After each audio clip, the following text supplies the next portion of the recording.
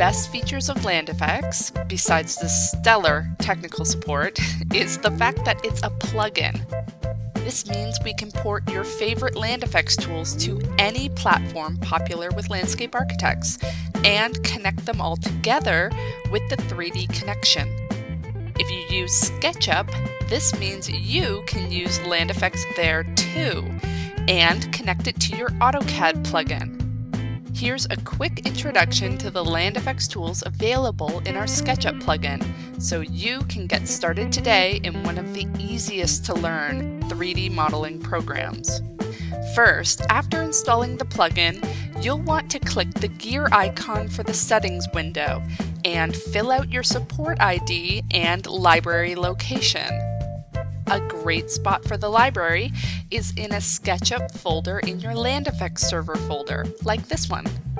Use the same support ID as you use with the AutoCAD plugin. If you don't use the AutoCAD plugin, apply for a SketchUp support ID. It's very important to use the same support ID if you're going to be connecting with your CAD plugin. Then set your project. You'll see all the same projects as in your CAD plugin right away if you're using cloud data. If you're using SketchUp only, this will be empty and you can create a new project.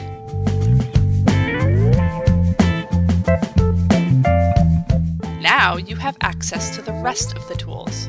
Import all your plants and site amenities from your AutoCAD 2D drawing here. Assign SketchUp components from our extensive library or use your own.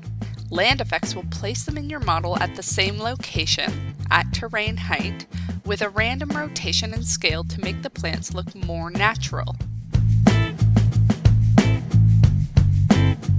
You can then move plants and amenities, delete them, or add and place more of them using the tree, shrub, and amenity tools.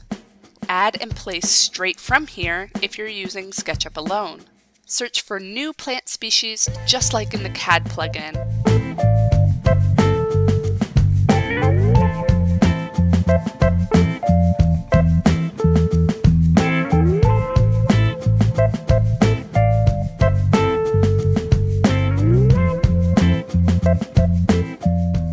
or add amenity site furniture from a manufacturer with the right color chosen. No more flipping catalog pages, get what you need right now. This all makes SketchUp not just a presentation tool, but also a 3D analysis tool to make informed edits to your design. Once you're done editing, you can send it all back to AutoCAD to update your 2D plan with the export tool. You can also send it to any of our other 3D plugins this way, like Revit. If you want to stay in SketchUp and Layout for your documentation, try out the Schedule tool. It'll place a complete schedule with component symbols at the origin of your model. You can move it from there.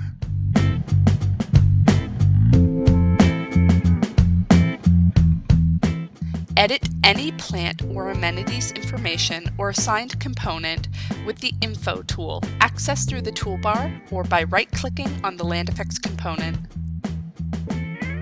Show key conceptual paths or traffic in your model with the Concept Line tool. Choose a line style and color. Then scale the style size and place along your model following terrain.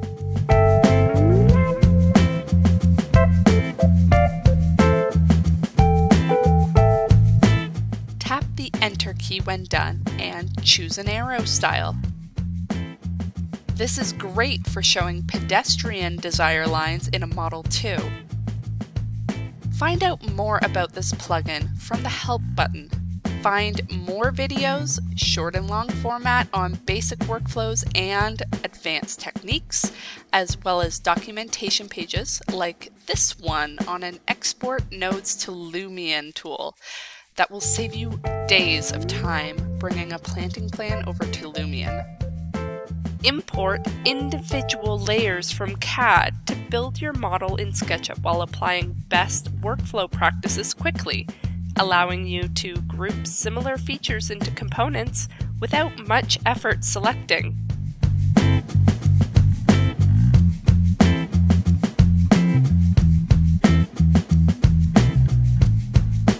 Make sure your plugin is always up to date so you know you've got the best tools available to you in the LandFX SketchUp plugin.